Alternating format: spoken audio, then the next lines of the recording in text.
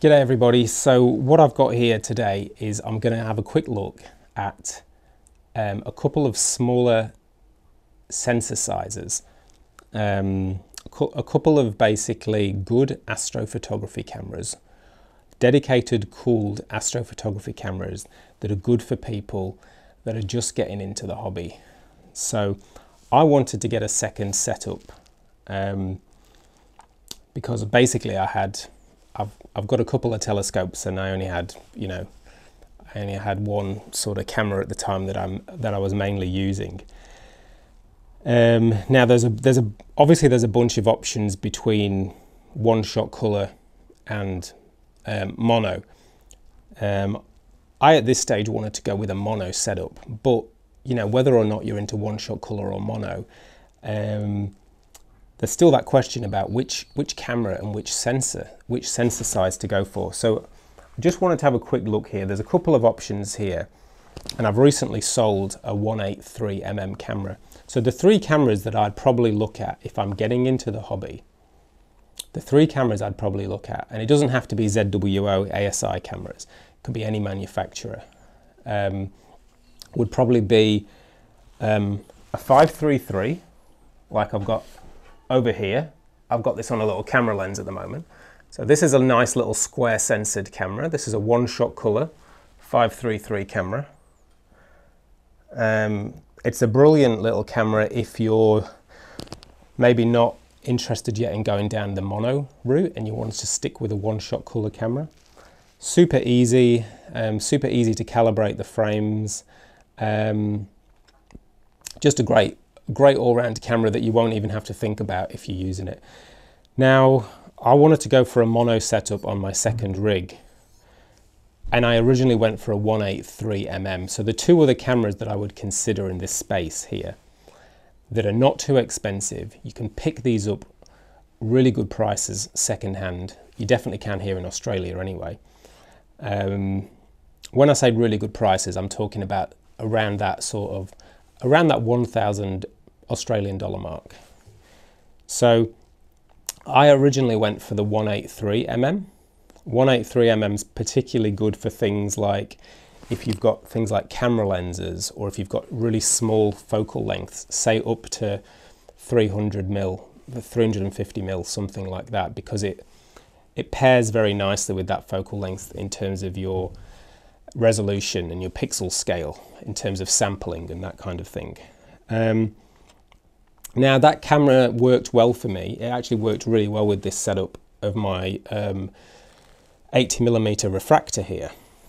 And I don't want to get too much, I'm not going to get too much here into which telescope you have. I'm going to assume, you know, maybe you've got a small refractor or maybe you've got a camera lens, but the point is here about which, you know, why is it worth going for these, these cameras and which camera is it worth going for?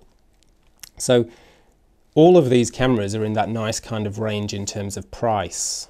You know, we're talking like between a thousand and one and a half thousand dollars, and you can probably get them really good prices. Second, second hand, you can get those in that sort of really nice price range where you're not having to spend, you're not having to spend a fortune.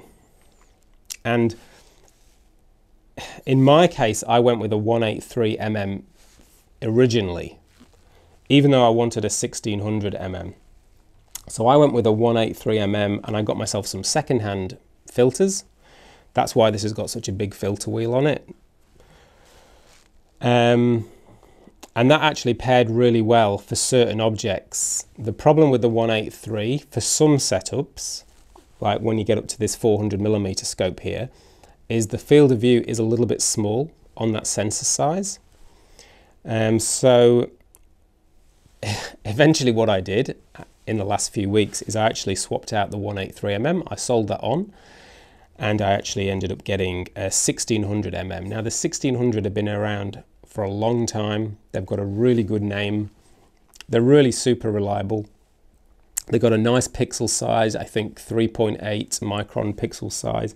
So they pair well with most sort of, most telescopes that you're gonna have on the market. Um, and um, they're actually fairly easy now to pick up second hand. Um, I've actually seen about three of these in the last four weeks um, second hand.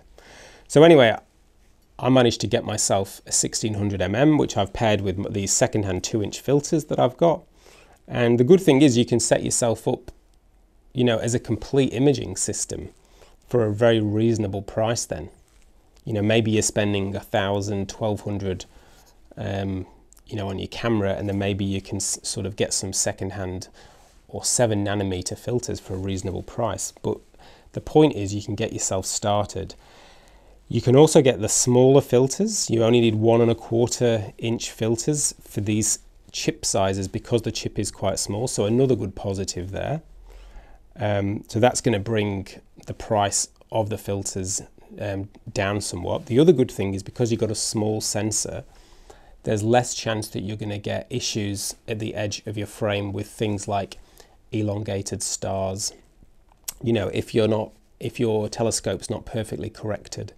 So there's a lot of advantages and, you know, I would say to anybody starting out, um, I would highly consider one of these cameras. I think, you know, if you're mainly into camera lenses, so if you're mainly into quite short focal lengths, you know, 150, 250 millimeter, I think the 183 is a very good match because of the pixel size on that particular camera. However, the 533 I managed to mix it with my Samyang lens here. This is a 135 millimeter lens. And you can do things like um, drizzling as well to help if you're a little bit over or under sampled. So there's, there's ways around things. Um, so, you know, it's difficult to uh, recommend one of these, but what I would do is use a program like Stellarium, look at what kind of hardware you're going to mix and match. Um, in order to inform your decision about which of these sensors you want to go with. Um, the 183 does have a slight issue in terms of amp glow on the side of the frames, but that's easily calibrated out with calibration frames. Um, so I think it all depends on what, kind of system you're looking to set up. If I probably wanted, if I probably were to, let's say, recommend an all-rounder that's good at everything. I think the 1600 is hard to beat because it's it's a nice um, uh, four-thirds sensor size, so it's a relatively big um, sensor size, so you can you're to fit more in out of any of these options. If I wanted kind of a super easy grab and go option, which is going to be really easy to calibrate, I think the 533 one-shot color is really difficult to beat. And you can always pair it like I have here with a filter drawer and put some great duo narrowband filters in there. Um, and I've got some excellent, excellent images with this. Um, and at the same time, the 183 sensor, um, that makes a great, like I've said, that makes a great pair for those shorter focal lengths.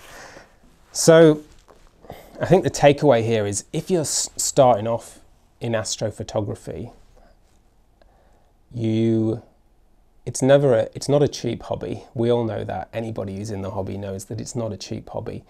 But there are ways to get started without breaking the bank.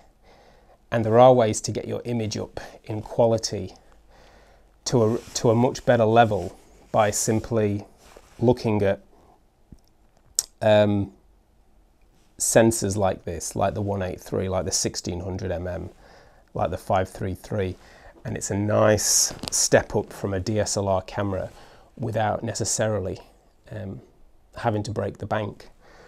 So look, um, I just wanted to put this video quickly together to say, you know, you probably will end up buying and selling things along the way. I know I have because you, you know, your requirements change and the way that you match equipment up changes. Um, but there's definitely, you definitely don't need the, uh, to break the bank here to get started in the hobby. And what I'll do at the end here is I'll put up some images. I'll put up my most recent image of the Seagull Nebula taken with this camera, the 1600mm. I'll put up the Rosette Nebula, um, which was taken, the Rosette was taken with the 183mm and these little 7 nanometer filters. Um, and then finally, I will put up an image of um, the Horsehead and Orion that I took with the 533 one-shot colour. And as you can see, like, you know, all of them can produce good images. So if you're looking to if you're looking to get into the hobby, these are probably the three cameras. All right, guys, so I think that'll do. I just wanted to sort of give you a little rundown on these three cameras because I have owned um, these three cameras and um, I do think all of these make good options depending on your circumstances as a way to get into the hobby. Um, so yeah, thank you very much for watching. Hope you got something out of this and good luck with any of your purchases. Clear skies everyone and I'll see you soon.